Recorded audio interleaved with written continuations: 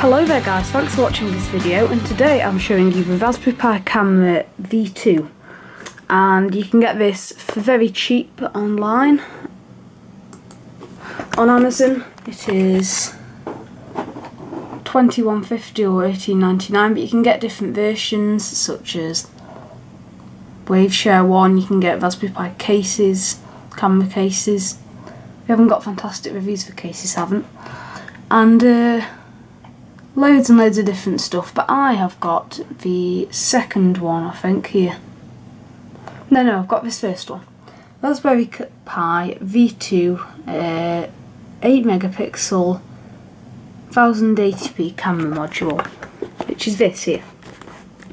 And what I'm going to do is just unbox it, have a look at what's on the back, and then get it working with the Raspberry Pi. Let's get started then. Um, take the back off. Comes with, yep, this is it. Comes with the Raspberry Pi camera module in this packaging and then also um, just a safety guide. I'm not going to read that.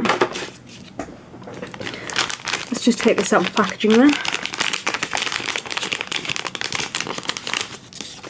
And here we have it uh, Raspberry Pi camera V2.1.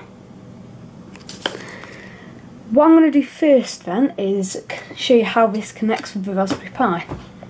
If you look here, um, the Raspberry Pi has a little thing here, a little slit, and this camera module, if you look very closely it should say camera there. Um, and you can actually just plug your camera into here. Make sure that the blue bit on the camera, there's a blue bit and then just a few silver lines, the blue bit is facing the Ethernet port. Just pop this in here, and there we go. Now, before you actually use the camera for whatever you wanted to use it for, you're going to have to make sure that you've got Raspbian loaded uh, with or any Linux operating system pretty much uh, that has on, a on a micro SD card if you've got a Raspberry Pi 2.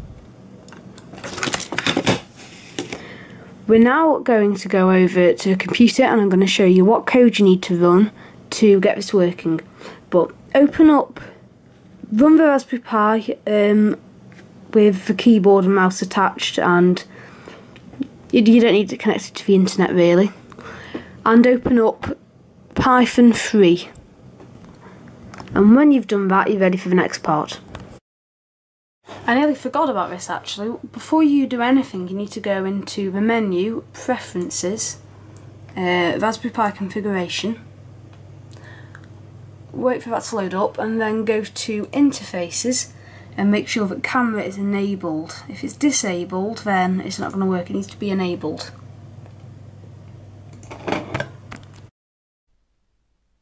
Here we have a very basic sketch to run on the Raspberry Pi that um, just gets the camera working then it'll show a preview of the camera on full screen on the Raspberry Pi showing what the camera is seeing at that right moment for 10 seconds and then it'll stop. First thing that you need to do is import Pi Camera, which is the library that makes it possible to use the Raspberry Pi camera on the Raspberry Pi. And then import the time library, or more specifically import sleep from the time library, because that's all we're using. We need to set up a variable for the Pi camera and call it camera. Then we start the preview. We stop for 10 seconds, just wait it out so that you can see the preview of the camera for 10 seconds and then stop. So that's all um, you need to do for setting up the Pi camera. You can see here the code on my Raspberry Pi. Um, now all you need to do is run it. This is just going to turn on the camera for 10 seconds. Save it as well. And then the camera will go on full screen and uh, you can see the camera ooh, here um, just and there we go, it goes off. Um, you didn't see much with that, but that just shows how to get the camera working. And um, it's just that code, enter it onto your Raspberry Pi and run it. You don't actually even need to be um, in the terminal to do this. Okay, now let's get on to taking pictures.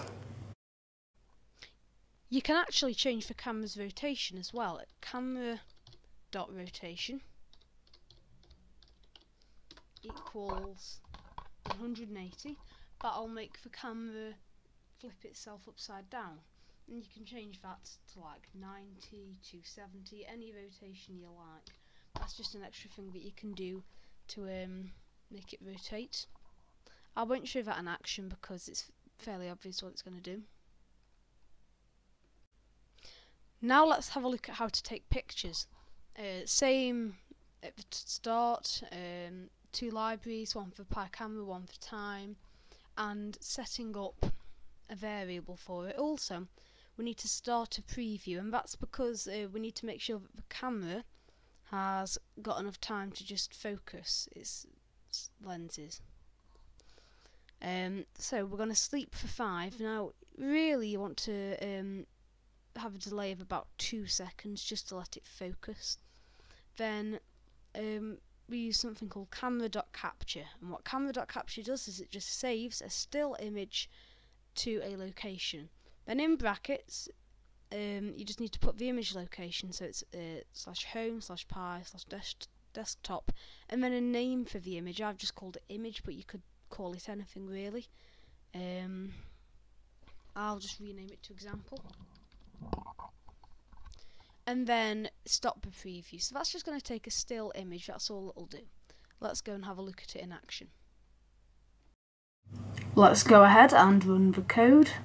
Um, I just showed you this with the screen recorder. The module.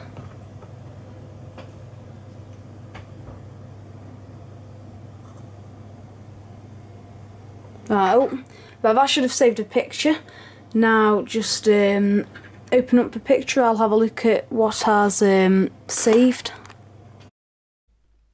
Now if you wanted to, one thing you could do is make it take five pictures by adding for i in range 5.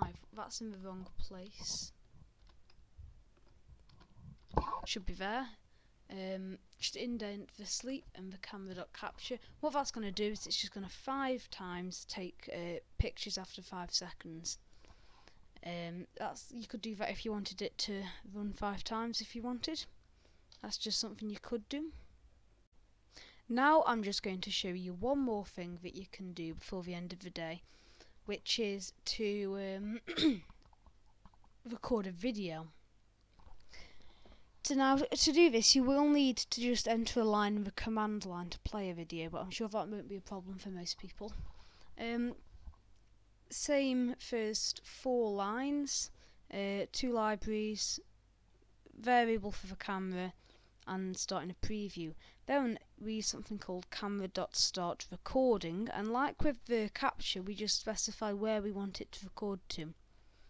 Uh, wait 10 seconds to record a 10 second video, then stop recording and stop the preview and then that will save onto your Raspberry Pi wherever you specify the folder.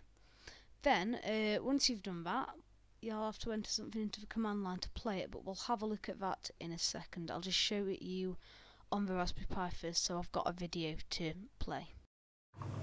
Okay then, let's now go ahead and run the code. Uh, one second. Right then, run so this must be saved. So save it. Now I haven't really got anything to record so I'll just show my desktop again because I've got nothing else to record. There we go. It's finished after 10 seconds and then let's just have a look. Um, to run this now, we need to enter something in the command line. So open up the terminal we're using something called OMX Player.